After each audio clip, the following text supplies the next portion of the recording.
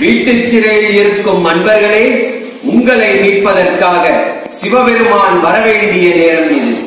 உங்களை மட்டுமல்ல இந்த நாட்டையும் இந்த நாட்டை மட்டுமல்ல உலகத்தையும் மீட்பதற்கு சிவபெருமான் வரவேண்டிய நேரம் இது. தீர்ப்பென கூறி மனிதனை கொள்பவன் நல்ல சிவபெருமான். காப்பவனே சிவபெருமான். மனிதா எந்த தீர்ப்பும் உன்னை கொள்ளாது சிவன் உன்னை காப்பான். செத்த பின் நீ சிவனடி சேரவும் முடியாது முக்தி அடையவும் முடியாது. வாழும் போது சித்தமலம் மருந்து சிவமாக வாழ்வாரே பெருவாழ்வு வாழ்வார். சிவனை அழைப்போம் சிவமாக வாழ்வோம் மரணத்தை வெல்வோம் மகிழ்ச்சியான உலகத்தை படைப்போம். நோய்க்கு அஞ்சினாலும் அஞ்சாவிட்டாலும் மனிதன் அச்சம் உள்ளவனாகவே வாழ்ந்து கொண்டிருக்கிறான். அச்சம் இல்லாத மனிதன் சித்தமலம் மருந்து சிவமான நிலையில் இருப்பான். நாம் விரும்பினாலும் விரும்பாவிட்டாலும் அஞ்சினாலும் அஞ்சாவிட்டாலும் வீட்டுச் சிறை கட்டாயமாக்கப்பட்டுள்ளது. நமக்காகவும் பிறருக்காகவும் தனிமைப்படுத்தி வாழ்வதே சிறந்த பண்பாகும். சங்க தமிழ் புலவர் நல்லந்துவனார் பண்பெனப்படுவது பாடறிந்து ஒழுகல் என்று கூறியதை மறவாமல் நடப்போமாக. இந்த நேரத்தில் நாம் நமக்காகவும் நாட்டுக்காகவும் மனித குலத்திற்காகவும் செய்ய வேண்டிய விண்ணப்பத்தை சிவபெருமானிடம் செய்வோம். கொள்ளேர் பிளவகலாத்தலம் கொங்கையர் கொவ்வை செவ்வாய் வில்லேன் எனினும் விடுதி கண்டாய் என மாணிக்க வாசகர் திருவாசகத்தில் விண்ணப்பம் செய்வது போல் நம்முடைய மெய்யான நிலையைச் சொல்லி விண்ணப்பம் செய்வோம். விடுதலை அடைவோம். சிவமாவோம். எல்லையில்லாத எதிர்ப்பாற்றலுடன் கூடிய பலமாவோம். மனிதன் எப்போதும் பல விருப்பங்களை உடையவனாகவே இருப்பான்.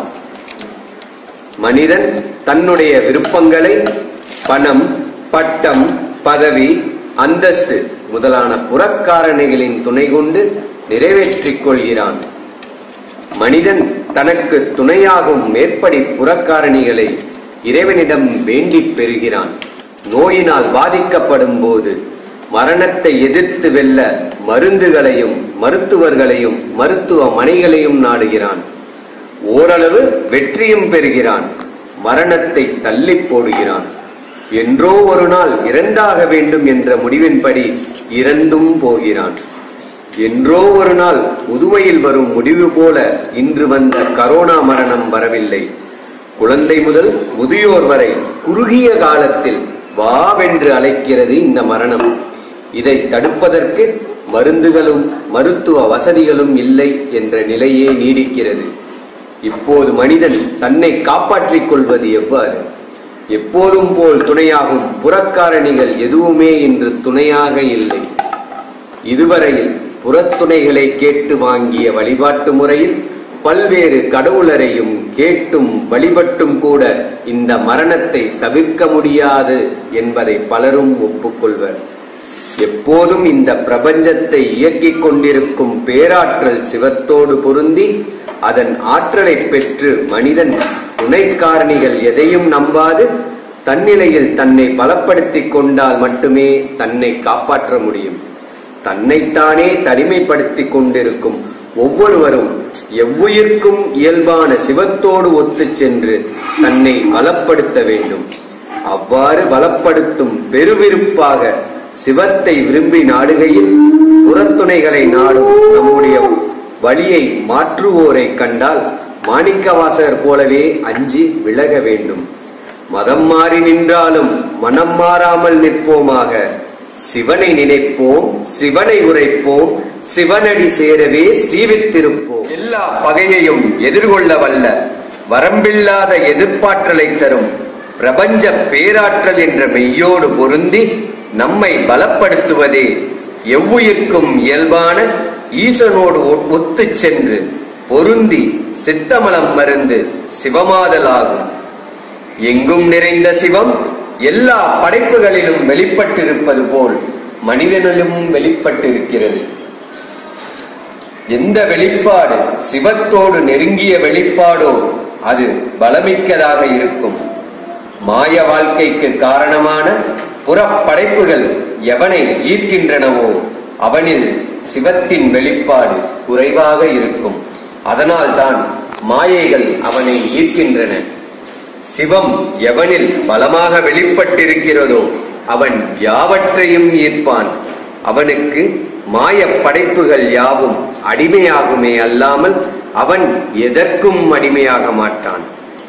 எல்லாவற்றையும் அடிமையாக்கும் பலமுள்ளவனுக்கு கரோனா வைரசும் அடிமையாகும்.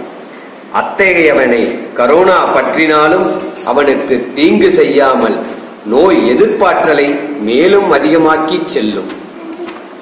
மனிதன் அடிமைப்பட்டிருக்கும் மாயைகளால் கட்டப்பட்ட கோட்டையே மனமாகும். மனிதன் சிவத்தை பற்றி கொண்டு பலமாவதற்கு தடையாக இருப்பது மனம் என்னும் கோட்டையே ஆகும். மனம் என்னும் மாயக் கோட்டையில் இருக்கும் மாயத் தடைகளை வரிசையாக எடுத்துரைப்போம். அவற்றை பொடியாக்கி சிவபெருமான் நம்மையெல்லாம் தன்னை நெருங்கி பலமாகும் வண்ணம் அருள் செய்ய வேண்டும் என வேண்டுவோம்.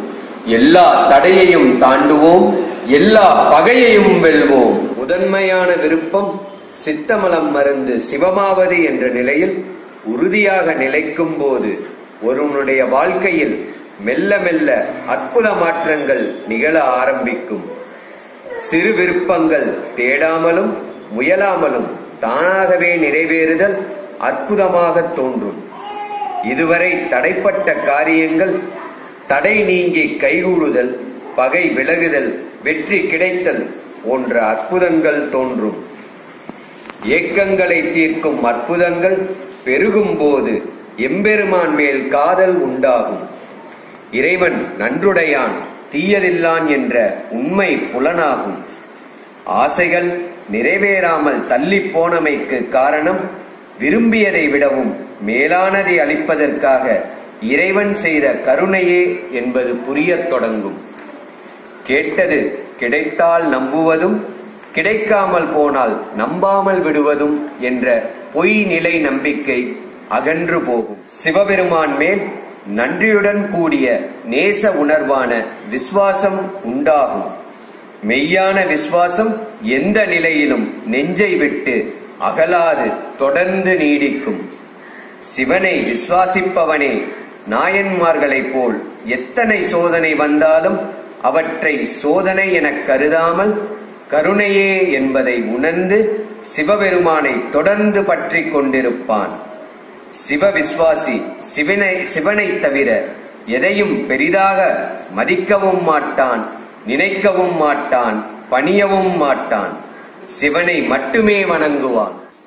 சிவம் என்னும் பிரபஞ்ச பேராற்றலோடு மனிதன் ஒத்து சென்று பொருந்தக்கூடிய இடம் உணர்வு களமாகும்.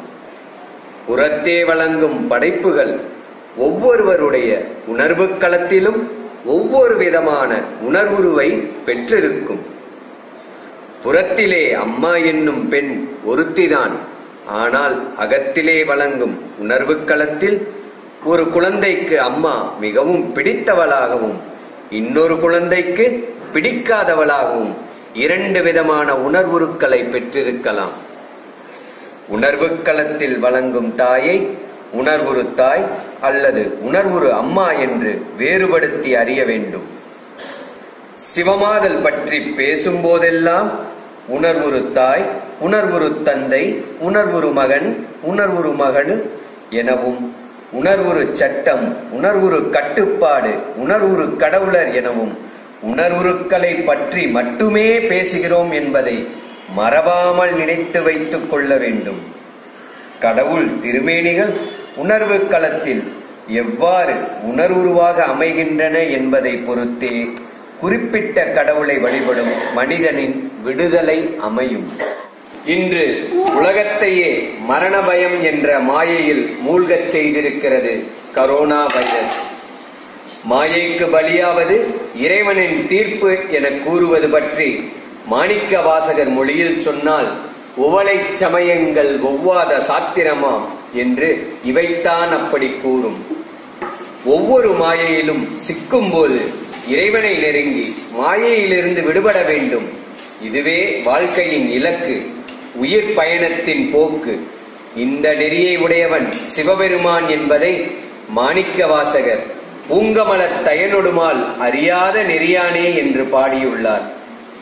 கரோனா அச்சம் தவிர்த்து சிவனை நெருங்கி யாவரும் இன்புற வாழ வேண்டும் என்பதை எடுத்து விளக்குவதற்காகவே தினம் ஒரு சிவகீதம் விளக்கத்துடன் இசைக்கப்படுகிறது. அவனியில் புகுந்தமை ஆட்கொள்ள வல்லான் சிவபெருமான். அவன் நம்மில் வெளிப்படும் போது உலக மக்கள் பலரிலும் வெளிப்படுவான்.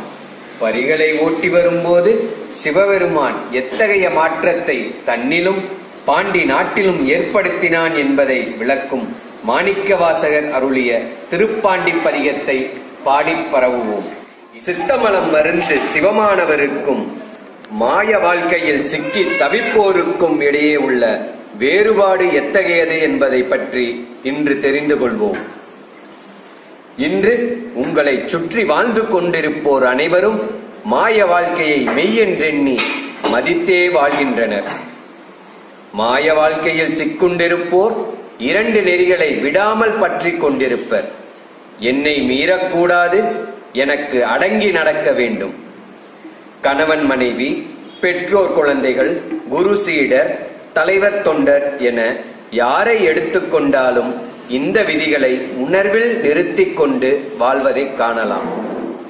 அச்சுறுத்தல் மூலம் தன்னுடைய பெருமையை வெளிப்படுத்தல் அடிமையாக்கி பணிகொள்வதன் மூலம் தன்னுடைய திறமையை வெளிப்படுத்தல் ஆகிய நான்கும் அடிமை நெறிகளின் வெளிப்பாடாகும்.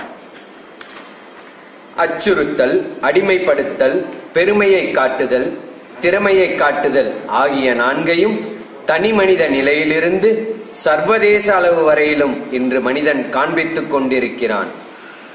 தனி மனிதனாக மனைவியை ஆளும்போது தன்னிலையில் மீறக்கூடாது. அடங்கி நடக்க வேண்டும் என உரைக்கிறான்.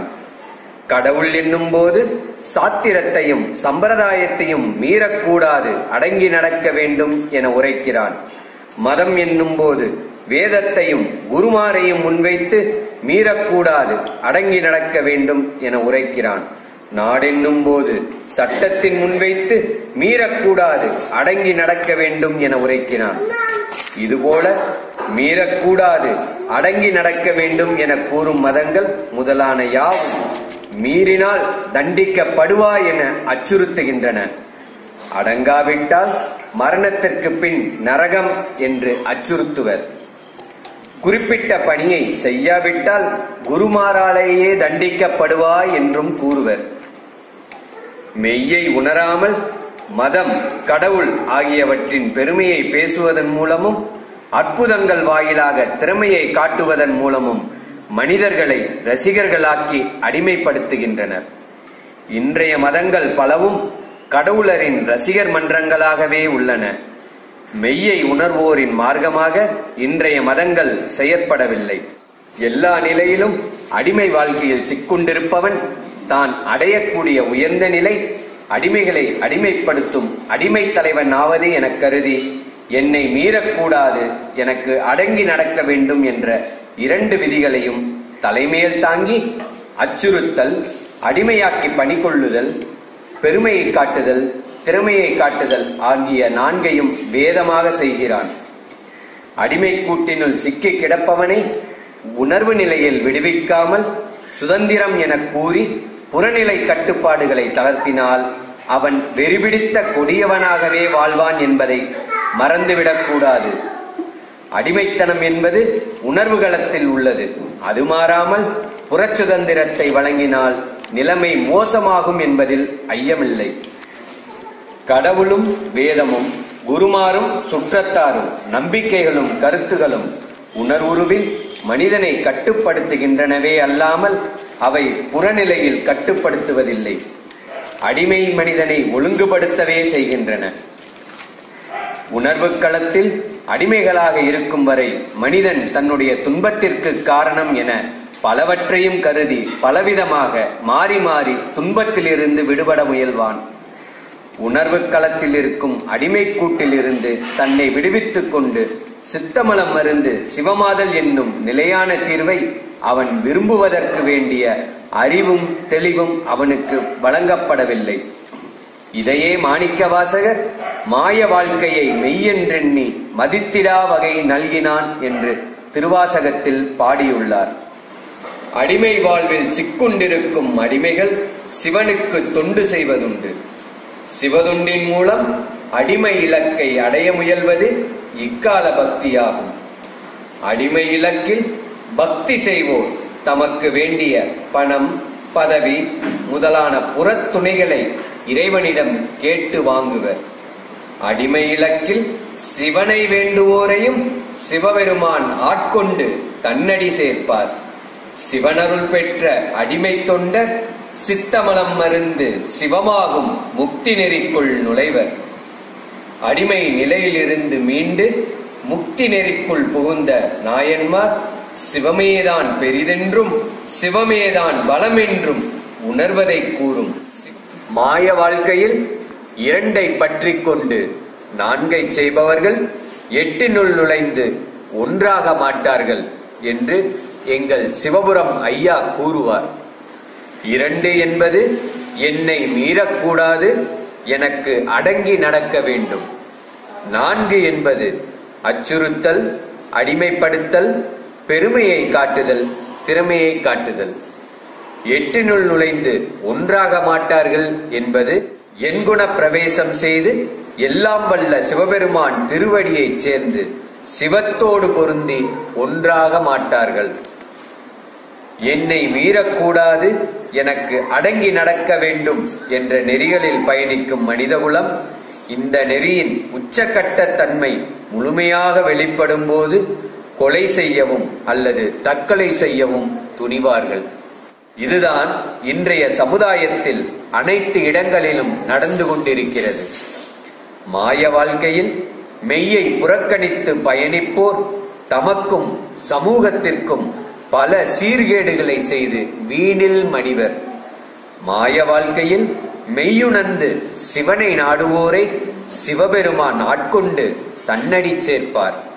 இதை நாம் அறுபத்தி மூன்று நாயன்மார்கள் வரலாற்றில் தெளிவாக காணலாம்.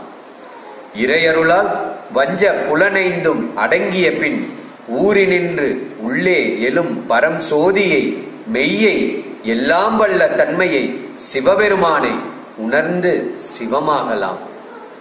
அப்பர் பெருமான் மலங்க புலனைந்தும் வஞ்சனையை செய்ய என்று மாணிக்க வாசகர் கூறிய நிலையில் நம்முடைய உடல் உறுப்புக்கள் பொய்யில் புகுந்து கேடு செய்யாமல் மெய்யை உணர்ந்து நன்மை செய்ய வேண்டும் என்பதை நமக்கு நாமே உணர்த்துமாறு திரு அங்கமாலை என்ற பதிகத்தை பாடியுள்ளார்.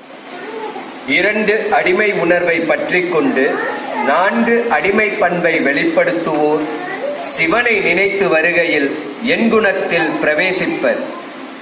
எண்குணங்களாவன அறிவு ஆற்றல் இன்பம் ஆரோக்கியம் ஆகிய நான்கிலும் எல்லையில்லாத வளர்ச்சியை அடைவதாகும்.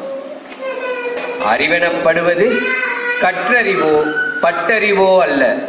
உள்ளிருந்து வெளிக்கிளம்பும் மெய்யறிவே ஆகும். மெய்யறிவு என்பது ஏன் என்ற கேள்வி கேட்டும் நூல்களில் படித்தும் சான்றோர்களிடம் கேட்டும் பதிலை அறிந்து கொள்வதல்ல. தன்னுடைய கேள்விக்கும் பிறருடைய கேள்விக்கும் தானே பதில் சொல்லும் திறனை தருவதே இயற்கை அறிவாகும். இயற்கை அறிவு உச்சத்தை அடையும் போது முற்றறிவாக முழுமை பெறும். முற்றறிவுக்கு பின் அறிவை நாடாமல் குறிப்பிட்ட மனிதன் அறிவை அருளும் சிவனோடு ஒன்றுவான். அப்போது அவன் சித்தமலம் மருந்து சிவமான எல்லாம் வல்ல நிலையை அடைகிறான். அறிவைப் போலவே ஆற்றல் வரம்பில் ஆற்றல் என்ற நிலையில் முயலாமல் எதையும் முடிக்கும் ஆற்றலாக வளர்கிறது. வரம்பில் ஆற்றல் வளர்ந்து தன்மயமுடைமை என்ற நிலையில் எல்லாம் வல்ல தன்மையை அடைந்து வினைகளை ஆற்றுவதில் உள்ள ஆர்வத்தினை விளக்கும் போது குறிப்பிட்ட மனிதன் சிவமாகிறான். இன்பம் என்பது வரம்பில் இன்பம் என அனுபவித்து அடையும் அத்தா காமா ஆகிய புலன் இன்பங்களை கடந்து உள்நின்று வெளிப்படும் மெய்யின்பமாகும். மெய்யின்பம் இயல்பாகவே கட்டின்மை என்னும் பூரண சுதந்திர உணர்வை தருகிறது. பூரண சுதந்திரம் என்பது அனுபவத்தால் வருவதல்ல. அனுபவிக்கும் உணர்வு கிளர்ச்சியும் அல்ல. ஓர் உணர்வே ஆகும். குறிப்பிட்ட மனிதன் இயல்பாகவே கட்டின்மை என்ற சுதந்திரம் அதாவது தனக்கு மேல் ஒருவன் இல்லாத நிலையை அடைகிறான். தனக்கு மேல் ஒருவன் இல்லாத பூரண சுதந்திர நிலையில் மனிதன் இன்பத் தேடலையும் கைவிட்டு அதில் இயல்பாகவே திளைத்திருக்கும் சிவானந்த பேருணர்வில் நிலைத்து அவன் சிவமாகிறான். ஆரோக்கியம் என்பது தூய உடம்புடைமை என ஆரம்பிக்கிறது. உடம்பிலிருந்து வரும் மலம் சலம் வியர்வை போன்ற கழிவுகள் தீங்கு செய்யாது. நன்மையே செய்யும் தன்மையை அடைகின்றன. தூய உடம்புடைமை பேரருள் உடைமை என்னும் உச்சத்தை அடைகிறது. சிந்தனை சொல் செயல் ஆகியன இருந்தாலும் இல்லாவிட்டாலும் ஒருவன் இருக்கும் இடமெல்லாம் மலரின் மனம் போல் சிவபெருமானின் திருவருள் உணர்வு பரவும். அவன் சிவத்தோடு பொருந்தி பேரருள் உணர்வுடன் கூடிய சிவமாகிறான் என் குணத்தின் உள்ளே தான் இருக்கிறேன் என்பதை உணர்ந்த திருநாவுக்கரசர் என் குணத்துள்ளோமே என்று நாமார்க்கும் குடியல்லோம் என்ற பதிகத்தை முடித்துள்ளார். இந்த பதிகம் என் குணத்தில் உள்ள ஒருவரின் உணர்வு எத்தகைய தன்மையை அடைந்திருக்கும் என்பதை வரிசைப்படுத்தி காட்டுகிறது. அடிமை உணர்வு இரண்டினுள்ளும் அடிமை பண்பு நான்கினுள்ளும். சிக்குண்டு சிவனை வழிபடுவோர் மெல்ல மெல்ல அடிமை உணர்விலிருந்து விலகி என் குணத்தினுள் பிரவேசிப்பர். என் குண பிரவேசத்திற்கு இடையராத பக்தி அவசியமாகும். இடையராத பக்தி என்பது வாழ்க்கையின் ஒவ்வொரு கட்டத்திலும் இறைவனின் கருணை என்னை வந்தடைகிறது என்பதை உணர்வதாகும். இடையராத பக்தி பற்றி மாணிக்க வாசகர் கூறுகையில் இமைப்பொழுதும் என் நெஞ்சில் நீங்காதான் தாழ் வாழ்க என கூறியுள்ளார். இடையராது பக்தி செய்யும் அடியார் கோலத்தை மாணிக்க வாசகர் எடுத்துக்காட்டும் திருவாசகப் பாடல் திருச்சதகம் உட்தலைப்பு மெய்யுணர்தல் மெய்தான் அரும்பி விதிர் விதிர்த்து. உணர்வு தொற்றினால் தூய உடம்புடைய மாட்டோடு பழகுவோர் தாமும் அதுபோலவே எதிர்ப்பாற்றலை பெற்றிருப்பர் என்பதை அம்மை நோய் வரலாற்றில் அறிந்தோம். இதே வரலாற்று உண்மையை ஓப்பால் விஷவாயு தாக்குதலிலும் அறிந்தோம். வைரஸ் போன்ற கிருமிகளின் தொற்றால் உடலில் நோய் உண்டாவதை கண்கூடாக பார்த்து கொண்டே இருக்கிறோம். ஒரு மனிதனில் இருந்து இன்னொரு மனிதனுக்கு அறிவு தொற்றும் உண்டாகிறது.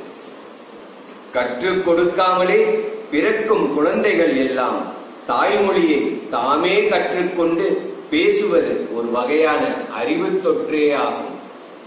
பாலை உண்ட மாத்திரத்தில் சம்பந்தர் தேவாரம் பாடியது உணர்வுடனும் அறிவுடனும் கூடிய ஞான தொற்று எனலாம். இதுபோலவே மெய்கண்ட தேவரும் சிவஞான போதத்தை அருளிச் செய்தார். ஐந்து வயது வரை பேசாதிருந்த ஊமை பிள்ளை குமரகுருபரர் பாடியதும் இதை ஒத்த செயலாகும். மெய்ஞான உணர்வு தொற்றோடு இயல்பாகவே இணைந்திருக்கும் தமிழை தாய்மொழியாக சிவபெருமான் திருவருளால் தொற்றாக பெற்றவர்கள் நாம். மாணிக்க வாசகர் திருவாசகத்தையும் அப்பர் சம்பந்தர் சுந்தரர் தேவாரத்தையும் பாடி இறைவனோடு உறவாடினர். தெய்வ தமிழ் மொழியை தாய்மொழியாக பெற்ற நாமும் தமிழிலே பாடி சிவமாவும் சிவபெருமான் நன்றுடையான் தீயதில்லான். சிவனார் திருவருளால் அருளப்படும் துயரங்கள் யாவும் பொய்யை உணர்ந்து அதிலிருந்து விடுபட்டு மெய்யைச் சேருமாறு அவர் விடுக்கும் அழைப்பே ஆகும். சிவனாரின் அழைப்பை உணராமல் மாயத் துணைகளின் உதவியோடு துயரங்களை களைபவர் மேலும் மேலும் பல துயரங்களில் சிக்குண்டு பல அழைப்புகளை பெறுவர். அவற்றை இறுதி வரை உணர மறுப்பவர் இறந்து மீண்டும் பிறப்பர். இன்று பரவி வரும் கரோனா துன்பம் பொய்யாயின எல்லாம் போயகல வேண்டி சிவபெருமான் விடுத்த அழைப்பே ஆகும். சிவத்தோடு ஒத்து சென்று பொருந்துவதற்கும் நெருங்குவதற்கும் என்ன செய்ய வேண்டும் என்று பல அடியார்களின் கேள்விக்கான பதில். நீங்கள் மூன்றே மூன்று செயல்கள் செய்ய வேண்டும். திருவாசகத்தை சொல் அண்ணாமலையை நினை நமச்சிவாய என சிந்தி.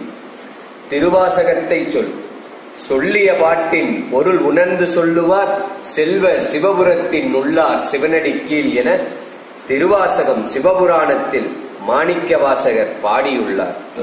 திருவாசகத்தை கேட்பவரும் படிப்பவரும் சிவபுரத்தில் உள்ள சிவனடி கீழ் செல்ல மாட்டார். மாறாக திருவாசகத்தை பொருள் உணர்ந்து சொல்லுவார் மட்டுமே சிவனடி கீழ் செல்வார் என்பதை இதிலிருந்து யாவரும் அறிந்து கொள்ள முடிகிறது. திருவாசகம் பாடுவதை கேட்டும் திருவாசக நூலை படித்தும் திருவாசகத்தை பொருள் உணர்ந்து சொல்ல பழகுங்கள்.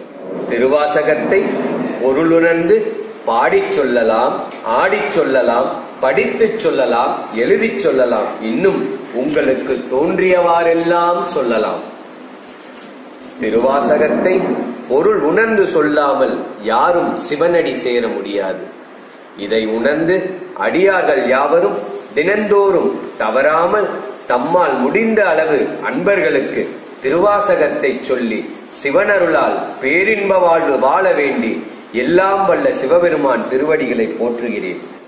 அண்ணாமலையை நினை நினைக்க முக்தி தரும் அண்ணாமலை என்பது யாவரும் அறிந்திருப்பீர்கள். இதிலிருந்து நாம் உணர்ந்து கொள்ள வேண்டியது யாதெனில் அண்ணாமலையை சுற்றி கிரிவலம் வருவதாலோ அண்ணாமலையை போற்றி பாடல்களை பாடுவதாலோ அடிவாரத்தில் இருக்கும் கோவில்களை தரிசிப்பதாலோ பிற உபசார செயல்களாலோ தேவையானது தானே தேடி வரும் முக்தி நிலையை யாரும் அடைய முடியாது என்பதே ஆகும். அண்ணாமலையை நெஞ்சில் நினைப்பது மட்டுமே நமக்கு வேண்டியதையெல்லாம் அளிக்கும் முக்தி நிலையை தரும். ஆதலால் அன்பர்களே அண்ணாமலை என்று சொன்னாலும் கேட்டாலும் கும்பிட்டாலும் வலம் வந்தாலும் வேறு என்ன செய்தாலும் அந்த சிவமலையை நினைக்க மட்டும் தவற வேண்டாம். அண்ணாமலையை நினை எல்லா வினையும் வரும் நமச்சிவாய என சிந்தி ஒரு நாமம் ஓருருவம் ஒன்றுமில்லார் சிவபெருமானை நாம் கொண்டாடி பாடும் திருநாமம் நமச்சிவாய. நமச்சிவாய என்பது சிவபெருமானின் நாமமே அல்லாமல் மந்திரம் அல்ல இதனால் அடியார்கள் ஓம் என்ற பிரணவத்தோடு சொல்லக்கூடாது. அவ்வாறு சொன்னால் எந்தவித விடுதலையும் அடைய மாட்டார்கள். இதையே நமச்சிவாய வாழ்க என மாணிக்க வாசகரும் எந்தையார் திருநாமம் நமச்சிவாய என திருநாவுக்கரசரும் வேதம் நான்கிலும் மெய்ப்பொருளாவது நாதன் நாமம் நமச்சிவாயவே என திருஞான சம்பந்தரும் நற்றவா உனை நான் மறக்கினும் சொல்லும் நா நமச்சிவாயவே என சுந்தரமூர்த்தி நாயனாரும் நமச்சிவாயவே ஞானமும் கல்வியும் நமச்சிவாயவே நான் அறிவிச்சையும் நமச்சிவாயவே நான் நவின்றேத்துமே நமச்சிவாயவே நன்னெறி காட்டுமே என திருநாவுக்கரசரும் பாடியுள்ளார்கள். நமச்சிவாய என சிந்திப்பார் நினைத்ததை விடவும் மேலாவார். சிவனருள் நோக்கி நம்மை ஏற்றும் ஏனியும் மாயைகளை நோக்கி நம்மை இறக்கும் பாம்பும் என இரண்டும் கலந்த விளையாட்டுத் தலமே மனம் ஆகும். மனிதனுடைய உயிர் எப்போதும் ஏணியை பற்றிக் கொண்டு ஏற வேண்டும். உடல் பாம்பிலே இறங்கி சறுக்கி எப்படி வேண்டுமானாலும் விளையாடலாம். உயிர் ஏணியிலிருந்து இறங்கினால் எதிர்ப்பாற்றல் குறையும் வாழ்க்கை துன்பம் பெருகும். இறக்கப்படும் போது பாம்பிலே இறங்குவோம் துணியும் போது ஏணியிலே ஏறுவோம். தான் இருக்கும் இடத்திலிருந்து கீழே இறங்காமல் யாவருக்கும் வேண்டியதை செய்பவன் சிவபெருமான். தன்னிலை மாறாமல் படைப்புகளுக்கு அருளும் இந்த பண்பே கருணையாகும். தன்னிலை தாழ்ந்து பிறருக்கு உதவி செய்வது இரக்கமாகும். இரக்கப்படும் போது உதவி செய்பவன் தன்னிலையிலிருந்து தாழ்ந்து இறங்கி வருவதால் துயரப்படுகிறான். இறக்கப்பட்டால் நிச்சயம் துயரப்படுவாய். இந்த உண்மையை எல்லோரும் உங்கள் வாழ்க்கையில் உணர்ந்திருப்பீர்கள். ஐயோ பாவம் என்று இறக்கப்பட்டு யாருக்கு உதவி செய்கிறீர்களோ அவன் கண்டிப்பாக உங்களை முதுகிலே குத்தியிருப்பான். நினைத்துப் பாருங்கள் உண்மை புரியும். இறக்கப்படு ரட்சிக்கப்படுவாய் என்ற உபதேசத்தை யார் சொன்னாலும் கேட்காதீர்கள்.